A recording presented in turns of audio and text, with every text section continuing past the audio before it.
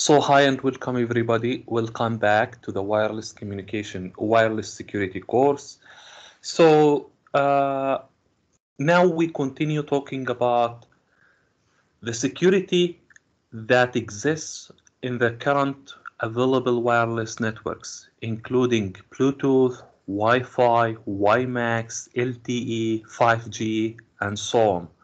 We need basically to talk about those technologies briefly and then discuss their key advantages, key properties of each of these technologies, and then mention what approaches, what algorithms and methods are being used to secure the, the to secure the communication and secure the data transmission in such a way we meet the security requirements. We fulfill the security requirements in terms of authenticity, confidentiality, and integrity, privacy, and availability.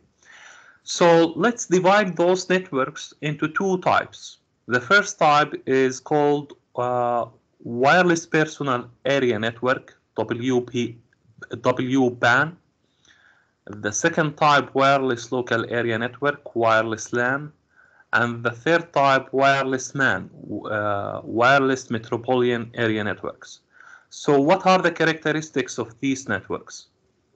So if we look at wireless personal area networks, we have a coverage area of about 100 meter. We have data rate of about 2 megabit per second. And an example of technology that belong that belongs to this domain is Bluetooth. Zigbee as well, and uh, some other technologies. So when we talk about wireless PAN, is the, the, the, this is the this is the domain. Uh, within wireless PAN, there is even one that's smaller than this. We call it the wearable, uh, the communication for wearable devices, or like near field communication for uh, for payments, for credit card payments, for uh, you know those tags that are attached to items you buy them from the market. Those they use near field communication as well. Uh, RFID sorry RFID uh, so RFID and near field communication those are even smaller much smaller than uh, the wireless band because the data rate is sometimes in kilobit per kilobyte per second and the range is less than even one meter and example of such technology RFID tag uh, used in tags and patches and so on. Uh, now the second type is wireless LAN. Wireless LAN example of a technology that uses wireless LAN is Wi-Fi. The range of it is up to 250 to 300, sometimes 500 meter, but it's less than half kilometer so the range is bigger than the range of wi wireless band and the data rate can go up to 300 mega, sometimes more than this or less than this, but in this range. And uh, the security here, the security procedure is different and more uh, more difficult than the security available at wireless PAN. And then when uh, when we extend the range a little bit more, and become beyond half kilometer, let's say 10, 10 kilometer, 5 kilometer, 2 kilometer, then we are talking about wireless metropolitan area network. So example of the of such networks is WiMAX, LTE, 3G, 2G, GSM, and 5G even. 5G belongs to this type of, net, of wireless networks. And the data rate can go up to gigabit per second with 5G 10 gigabit per second and above. So those are those are the main three types of wireless networks that we will be discussing their security. So we, let's start with the Bluetooth. With the Bluetooth as an example of wireless personal area network. So in Bluetooth, what do we have in Bluetooth? How do how do how do we achieve authentication? In Bluetooth communication and, and confidential transmission. So as you can see, when you look at the uh, left-hand side figure, we have uh, a device, unit A, and another device we call unit B. And unit B, we name it claimant, and unit A, we name it verifier. And in, in here, the two devices want to authenticate, the, the device A wants to authenticate device B. So here it's one one-way authentication. As you can see, only uh, we we are showing here the process in which device A only authenticates device B. So what happens here? We first of all uh, the claimant device B establish a connection with device A, link establishment request. Then after uh, after this process, there is a link key exchange, a link that's established between unit A and unit B to share a key, secret key. And usually they use some algorithm that's properly designed and exclusively used to share these keys over a public channel secretly. And the length of this key is usually uh, low, not that like it's the length is, is not that huge like uh, it's in less than sometimes 100 bits or 200 bits. After they exchange the key, the claimant device B request an, uh, sends an authentication request to device device A. And the way it sends, before it sends it, before device A sends this authentication request, device A takes some information he has, which is the key, and use it to sign something to generate uh, some information and send it to device A. Now, device A does not need to decrypt this request or decode it or anything, just takes it as is, store it, and then he generate its own and compare the received one with the existing one. If they match, then he sends a random number. Okay, random number. The unit, the device B uses this number to generate to generate a message that he again sends it to device A, and then from the response that device A gets from device B decides whether the device that's requesting an authentication with me is valid or not. Based on whether it has the key or not because already they share the key among each other. So this is the process of authentication. So if we if we want to think about the problems of this method so what will come to your mind? First it's lengthy process. Yes it there are too many signals going forth and back to authenticate your device it takes time and therefore it causes delay and the length of the key uh, is not that large. It's like, I mean, it's in in less than 100 bits or 200 bits, so the security is not that strong. Now, when you look at the uh, right-hand side, this figure shows you the process of the authentication. Uh, so the left-hand side shows you the exchange of messages and the exchange of uh, control uh, control messages that get transferred between the two users and the figure on the right hand side shows you the process the algorithm how it works the authentication starts then it just comes to the point where it needs to decide whether the device is trusted or not if yes authentication okay if no uh, it requests authorization if no, authorization fails. If yes, creation of trust allowed. Yes, creation of trust. No, authorization okay. So this shows you that we we we don't only uh, depend in the Bluetooth security. We not just depend on the authentication, but also there is an authorization process. So what's the authorization? Authorization okay, you authenticated this device, so this is a legit device. This is okay. I mean, he's a valid device. He wants to connect with me. I authenticated him. I know this device. I know this guy. But Should I authorize him to access all the services?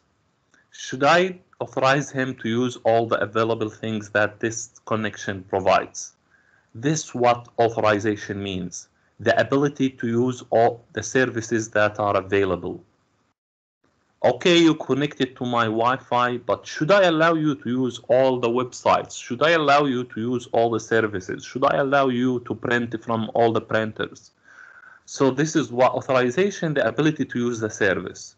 Uh, for example, in mobile networks, the authorization means that you already have enough credit in your phone, in your SIM card, so that you can make calls. Okay, I authenticated you. You are a legit, valid, authentic device. That's fine. But should I allow you to call? Let's check his credit card. Let's check his balance. His balance is below zero. Then why should I authorize him? The service is rejected. So the provider will not allow you to even make a call. Why? Because you are not being authorized. Although you are not trying to make any, like you are authentic and this and that. So authorization is related to services. The, I'm explaining it because I don't want you to get confused between this word authorization and authentication. Authentication is the process of verifying and validating that a certain device is legit. He's authentic. He's not trying to fake us. He's not trying trying to pretend somebody else. Uh, he's not using somebody else's identity and all these uh, all these issues that are related to spoofing. And authentic authorization is related to granting services for the device. So this is the so this is the main the main security approach that's being used in Bluetooth. What about the encryption? The encryption they use really very simple encryption algorithm that's based on ciphering. What does ciphering means? You just change flip I mean you have a mapping table and you just say if x comes replace it with y. If z comes replace it with x. If uh, u come replace it with o. If uh, d comes replace it with a. It's just a mapping ciphering. And there is a, a stronger ciphering than this which is permutation and puncturing. But all these techniques are weak i mean. And the reason why they are not pushing hard on the security of bluetooth because the range is the range of the security the range of the communication is not that large not that uh, it's it's in the in in less than 100 meter and most of the wi-fi most of the bluetooth devices like your keyboard like your uh, headphone handset or mouse or any of uh, any of these devices they even have a communication range less than 10 meters sometimes.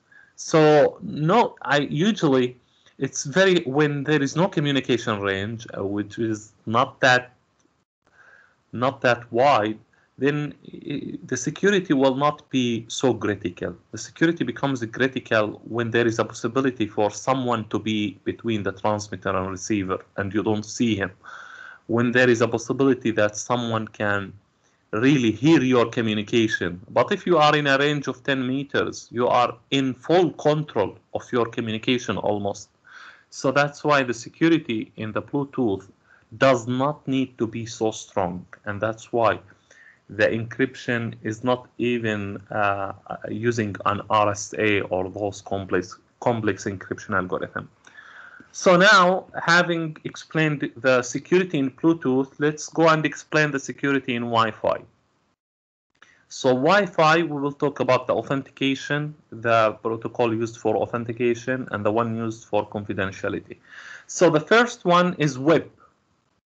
Uh, th this is this is the, the the most basic one, and this was the first protocol proposed to be used for uh, for the for authentication purposes in Wi-Fi networks. And how it works uh, is the following: the, the you have the client device and the access point, and here the client device requests sends an authentication message to the access point the access point sends a challenge uh, to the device, and this challenge is usually random, random text, plain text. Then the device uh, encrypt and send back to the access point, and then the access point decide whether it's uh, whether it's valid or not. And usually, this process uh, to, to make it clearer for you, uh, in Wi-Fi, when when you want to connect with the Wi-Fi access point, basically you have you click on the on the signal uh, on the signal uh, of the Wi-Fi, and when you want to enter or connect with the Wi-Fi, it just tells you uh, enter a password, and this basically the password. Think of it like the shared key between the access point and the client and this key uh, is is is already shared ahead of time. Who shared this key with you? The person who came to your home to install the Wi-Fi access point, the router, when when you asked for an internet service from the internet service provider. He just came to you, programmed the router for you, and told you this is your this is your uh, password for the network. Don't forget it and he in the in the access point at the time when he programmed it he he he wrote the password there in the database. So it's it's think of it as like the key uh, it's related to the key. And then this is the based on this you you, you when you when the device sends a request the access point uh, sends a plain text. And wants the device to encrypt this text if the encryption is done using the same key as the key that the, access point has, then authentication will be fine, and it will and it will grant the user access to the internet. Otherwise, it will not. Now, as you can see, this is different from Bluetooth authentication. In Bluetooth authentication, we have uh, two more steps. We have link. Uh, we have link key exchange there is an exchange process. Why is that? Because you don't have like we don't have the case of Wi-Fi. So basically, in Bluetooth as well, you are the the the for example, if you want to connect your mouse with the with your laptop, most of the cases you don't even have you don't even need a password. Uh, but like sometimes sometimes there is so the, the process of authentication and sharing the key is embedded in the case of bluetooth unlike the case of wi-fi. Now this is for the authentication. What about for the encryption and for achieving confidentiality? So for that for that to happen you have as you can see here you have again you have WEP and this is used for security and for this we we need to explain the diagram here. So we you, you have the plain text. This is what you want to send. And you have an integrity algorithm. This integrity algorithm basically uh, generates random data from the plain text that gets into it and it gives an output. This output is called ICV, integrity check value. So this integrity check value, this here, right here, think of it like the cyclic redundancy check in communication system. For those of you who know communication very well, when you want to send a packet, at the end of the packet, you have a small box here. We call it cyclic redundancy check. In communication, we use this box we use this box, this cyclic redundancy check, to detect if there are any error in the data packet we sent or we received or not. I mean, when you send it to the receiver, the receiver wants to check that that is the packet uh, having any errors in it or it's error free. How does the receiver do that? He just takes this back this data and he, he has an algorithm that generates a sequence called the cyclic redundancy check sequence when the method operates on this data gives a, a CRC block, then the receiver compare this CRC block with the CRC block that receives from the transmitter. If they match, if they are the same, then there are no errors. And why do we need this? Because the channel usually uh, acts like a hacker. The channel, because of the fading, changes the value of the bits. You send zero, you receive it one. So the receiver needs to know this because if it's wrong, I need the transmitter to resend the packet again. Otherwise, I will not be able to decode my packet successfully. So in communication, this CRC is used for detecting if there are any errors. We use similar method, but for what? For verification purposes, for integrity check value that I, I, I sent this information and I'm gonna send it to the receiver and I want to make sure that nobody manipulates this message while it's being transferred over the network. Uh, so it's for integrity validation. And it can be used as, as a signature as well. So this is it. And here you, you concatenate. What's this concatenation process? You have plain text, you encrypted it, and you put it here. Yes, this is kind of packet and then the, the output of the integrity algorithm, you put it at the end of the packet, just like how CRC is being added to the packet that you want to send to the receiver. And then after that, you have a packet with CRC, okay? And then uh, you need to, to encrypt this. How do you encrypt this? You encrypt it with the WEP key. This WEP key is uh, is used, which is kind, the length of this WEP key is about 100 bits used as a seed to generate random data that has the same length as the data you want to send. Okay? Just like the data you want to send. You and what do you do then? You XOR the the the the data here, the data you got you you you have here with integrity with CRC or ICV with the key with the encryption key you have at the upper side. And then the end result will be ciphertext. This is what you will send to your Wi-Fi. And the same when Wi-Fi wants, wants to talk to the receiver. So this basically the WEP security. So what's the main, uh, what's the key? Uh, okay, we understand how it works and this, but why WEP is no longer used, I mean so the, the algorithm here uses a simple Rivest Cipher 4 algorithm operating with the aid of the pre-shared WEP key of 40 bits. See here even says that the WEP key 40 bits, not even 100. And this is shared ahead of the time and just simple ciphering. And here there is a note that says that WEP fails to protect the information against replay attacks and forgery.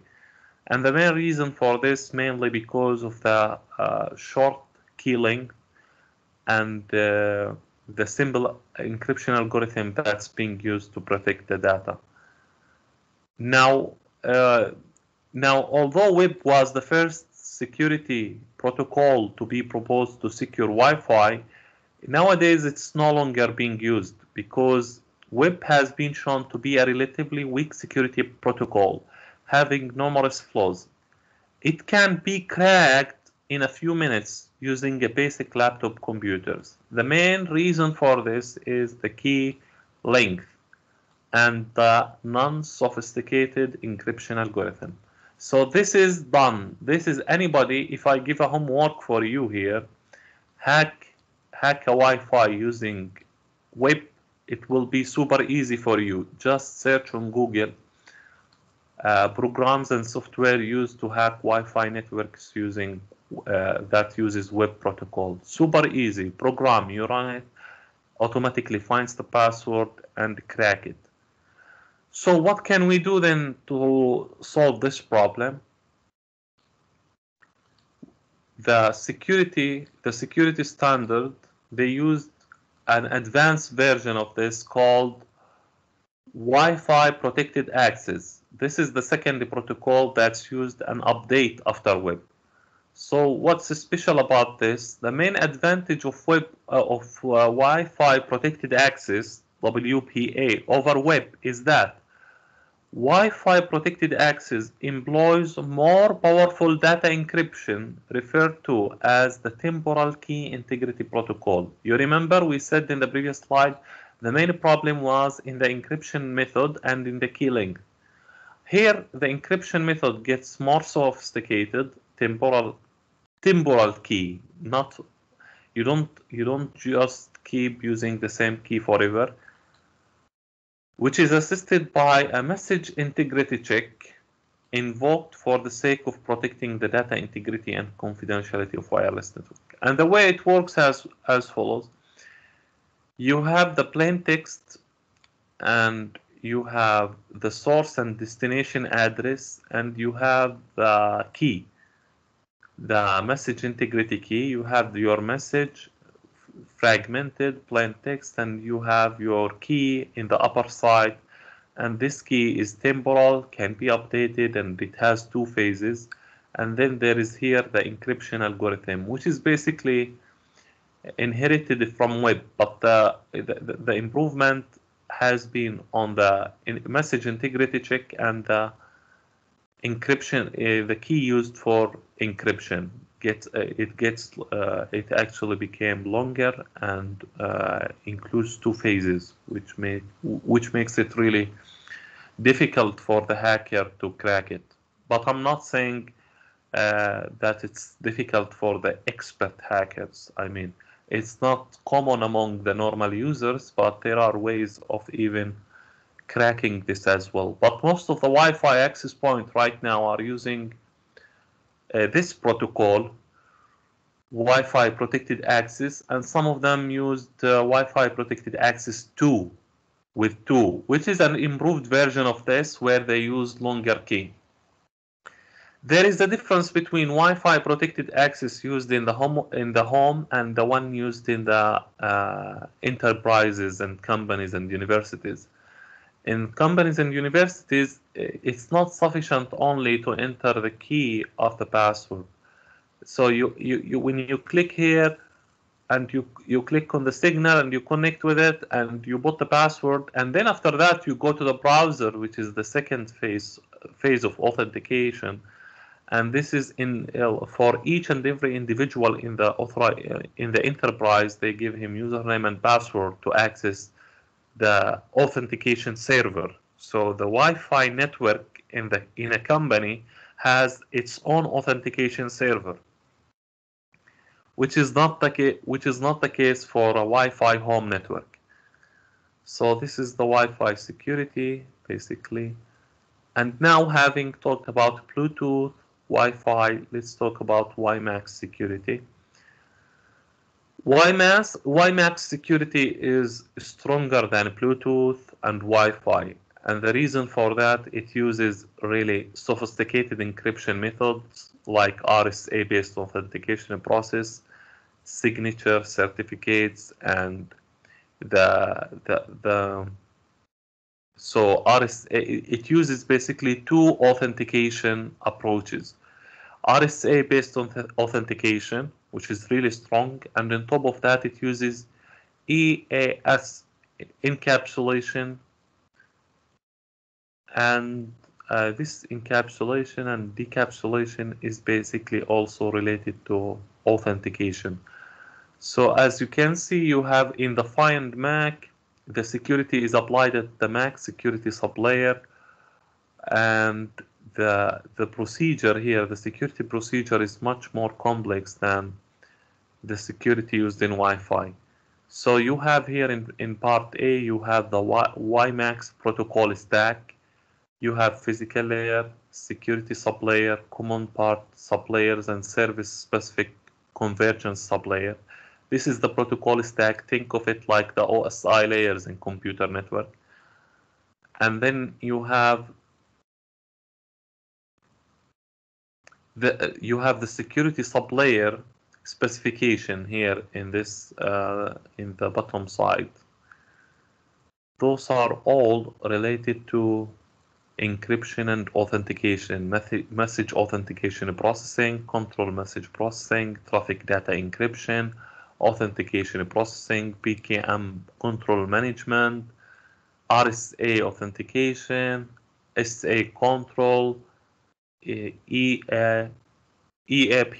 encapsulation. All of these are like many many security algorithms are used together in order to improve the security of the Wi-Fi of the WiMAX network. Now one might ask why why the security of Wi-Fi was not that complex. I mean compared to WiMAX, and why didn't we see this in Bluetooth even? And the simple answer is this: the the bigger the coverage range of your wireless network, the more security threats can exist in the network. And those security threats, you cannot see them sometimes. Therefore, when when the when when the coverage increase, when the coverage of the network increases, the security requirements increases, and therefore you need to improve your security to the highest level possible. Like it's not simple to add just RSA or another authentication algorithm or another complex encryption method because it really costs the network resources, delay, complexity, and money as well. So usually they they don't prefer to use uh, too much security if it's not necessary because too much security will degrade the other performance metrics and will cause some trade-off to your network. So now looking at the right hand side here in the authentication process, the RSA based authentication, you have you have the AAA server, which is authentication, authorization, accounting server.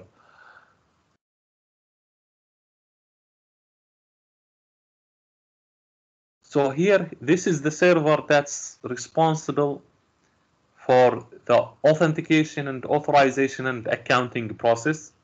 And you have a certificate authority that generates and distributes certificates. Those certificates, think of them that a document that contains the public and private key.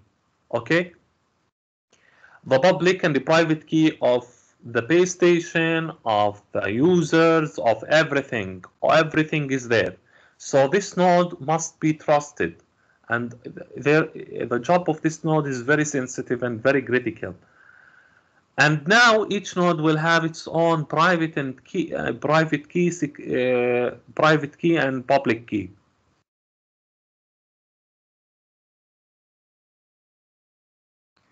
In this case, since each node will have its own keys, then the base station will be able to authenticate the user and the user will be able to authenticate the base station.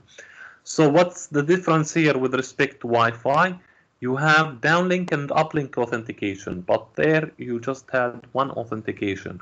Just the Wi-Fi access point wants to authenticate the receiver. But the receiver, does the receiver authenticate the access point in the Wi-Fi? No. So can you can you can you conduct uh, access point impersonate uh, spoofing attack in the Wi-Fi? Yes, you can. In WiMAX, difficult. But in Wi-Fi, because the authentication just in one way, I can I can bring a new a new Wi-Fi and claim to be the right Wi-Fi and let the user access to my Wi-Fi instead of accessing the original home Wi-Fi network. So here, to avoid this problem, they have this two authentication, downlink and uplink. So the Y the WiMAX security here, in order to guarantee the confidentiality of the transmission, WiMAX considers the employment of the advanced encryption standard. So for confidentiality, WiMAX uses advanced encryption standard, and this uses shared key between the transmitter and receiver. For authentication purposes, WiMAX uses RSA algorithm and EA, EAP algorithm as well, two authentication process.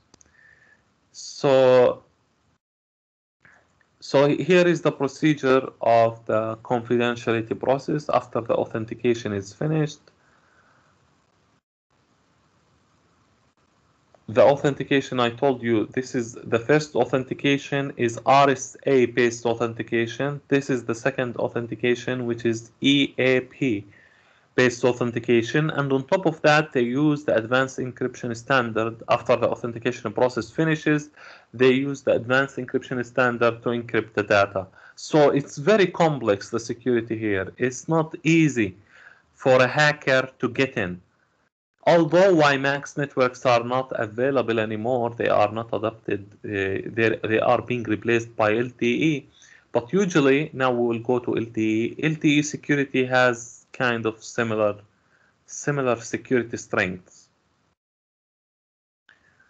So it uses symmetric, here WiMAX uses symmetric encryption and uh, asymmetric authentication protocols. Now, uh, moving forward, we have the LTE network, which is, we call it the 4G network. LTE is the commercial name, 4G is the technical name. And here, if you look at the network, it's it, it consists of two parts, the radio part and the core part, the evolved packet part, the, the evolved packet core, which is the you know the network part, the devices, the servers, the switches, the the home the home center, the mobility center, those they communicate with each other and talk with each other. And you have the radio part. The radio part is the part that interfaces the wireless transmission. And uh, when we say wireless security, we care about the, radio, the RAN part, the radio access network part. And what what unique thing here you have in LTE? In LTE, they introduced new two new types of technologies. They have the relay, the relay technology, which is used to amplify the signal. If a user is not able to reach the to reach the base station, there is a relay on the way that gets the signal and strengthen it and then send it back to the send it amplify it and send it to the base station and vice versa as well.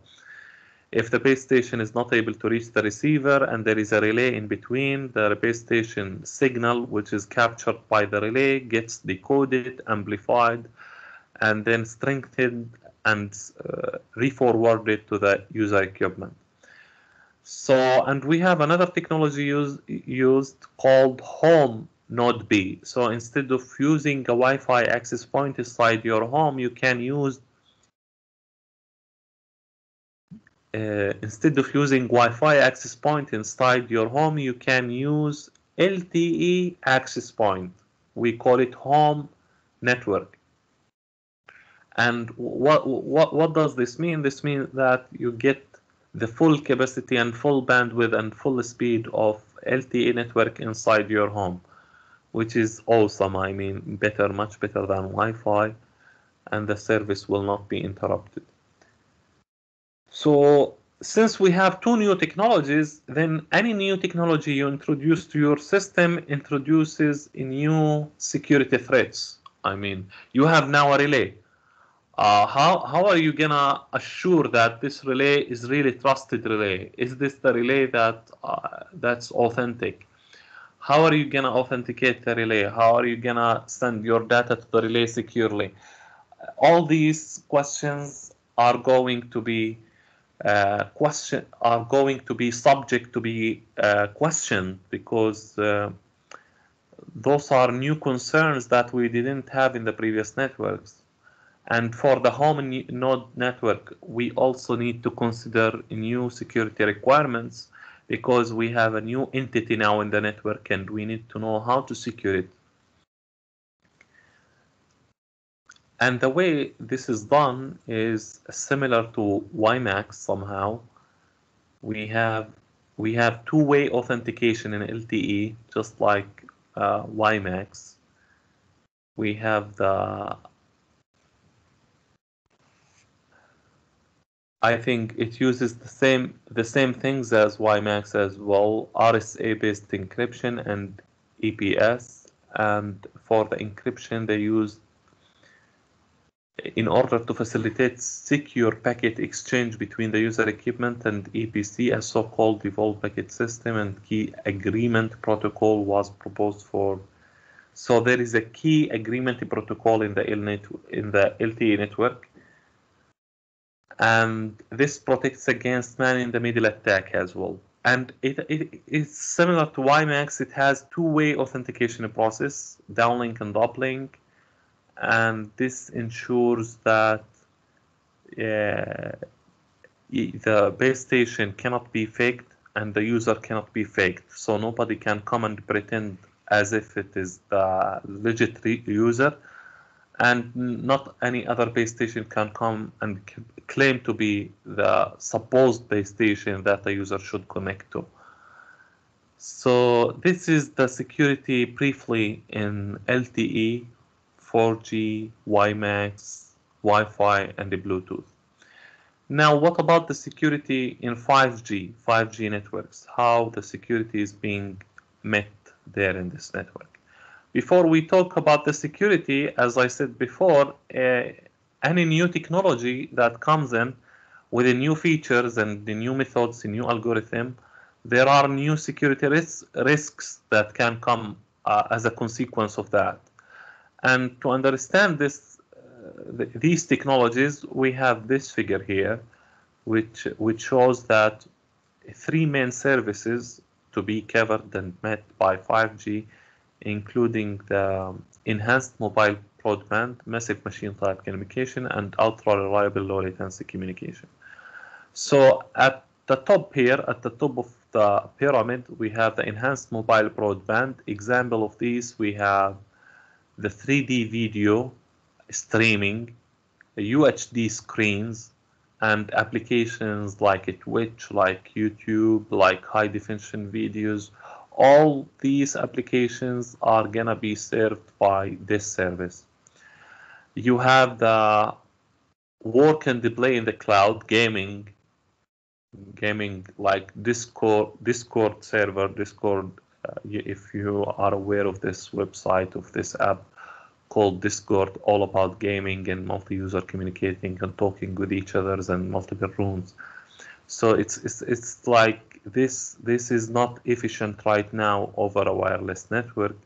So with 5G is gonna be more, much better than it was before.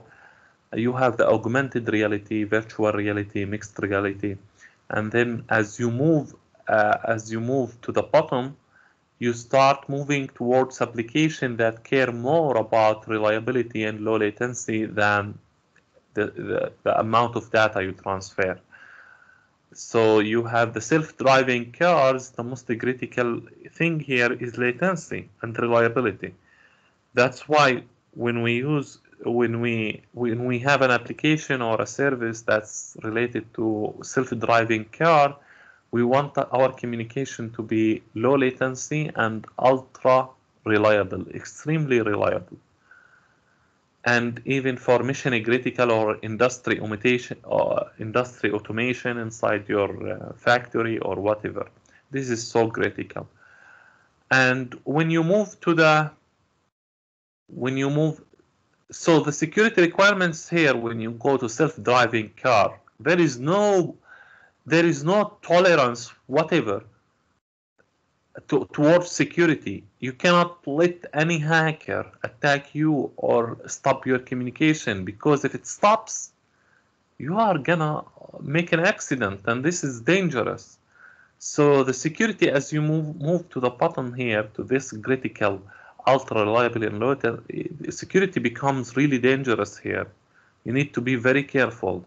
You can here, you can accept low security for enhanced mobile broadband, but not at all at ultra reliable low latency communication because the services are critical. Like uh, let's say remote surgery operation.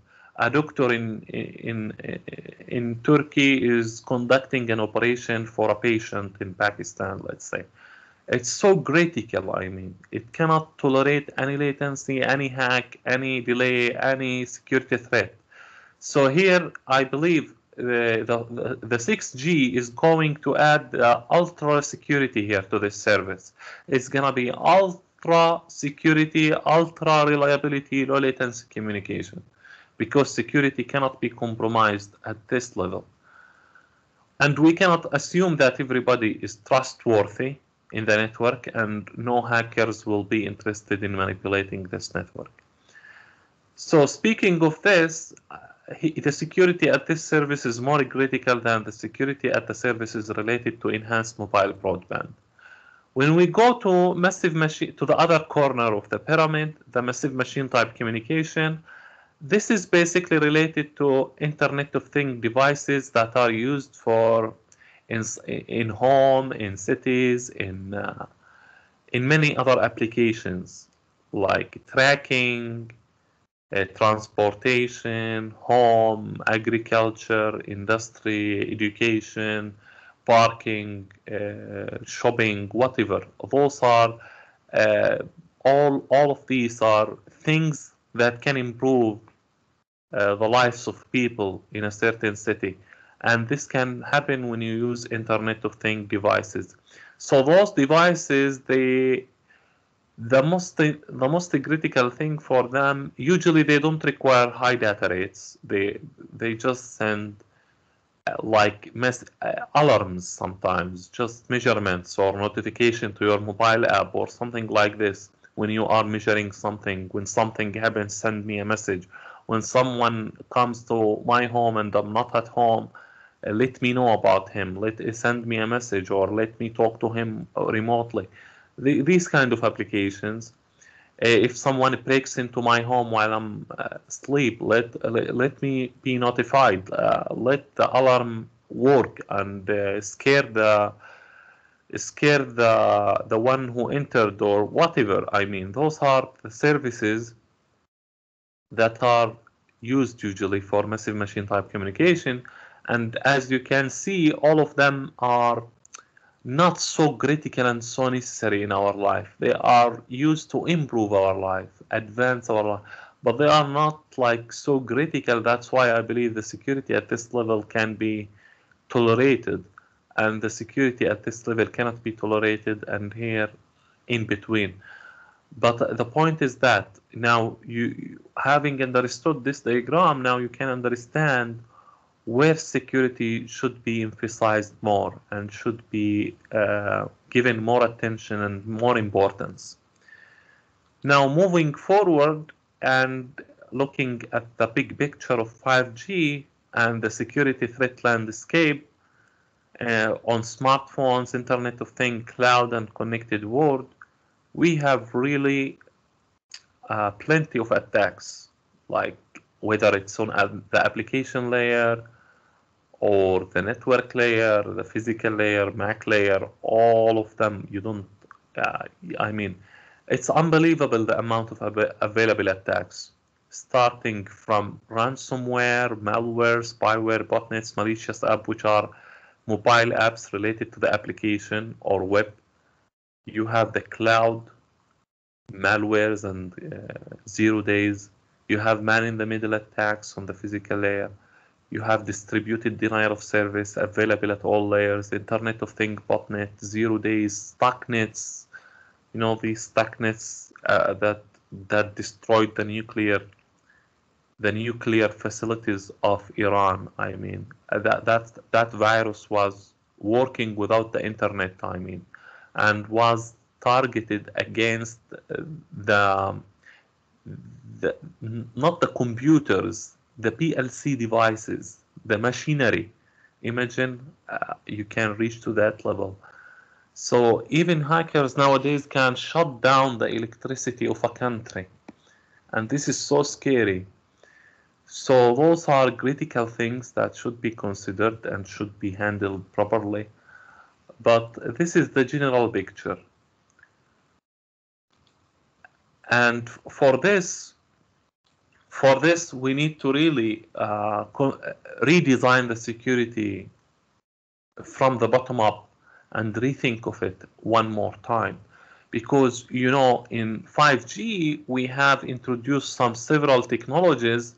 And when you introduce such new technologies, you end up you end up in need of new security algorithms that can defend uh, against the attacks that might happen again uh, for these devices or for these technologies. That, for example, you have uh, net, uh, you have a new new services in 5G and the new technologies like um, softwareization and uh, you have network defined radio, you have software defined radio, you have uh, virtualization, network function virtualization, and all these things are basically replacing the hardware's functionalities with software programs.